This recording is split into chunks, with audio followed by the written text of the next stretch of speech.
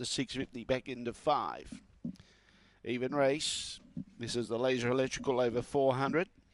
Odds are in, evens placed away. Green light goes on. There's no more bets, thank you. We're set to go. His race eight at Mount Gambier Greyhounds away. Nick's jacket was outpaced early. Out wide, there's a bit of speed. Coming across was Big Kenny Bobo for Booms out there as well. Kicking up underneath, though, to keep him out was Demora Beckham, who goes to the lead. Nick's jacket's trying to follow through.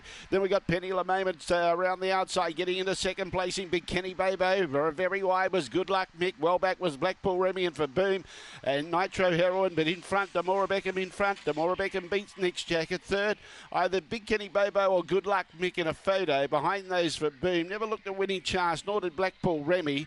Following those was Nitro Heroin, and Penny Moment was the last one to pull up. Around about 23.50 the time.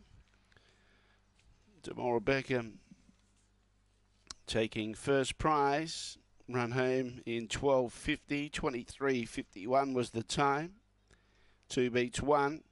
And six grabs third. 216. Demora Beckham late push, got out to 650, back into $4.60.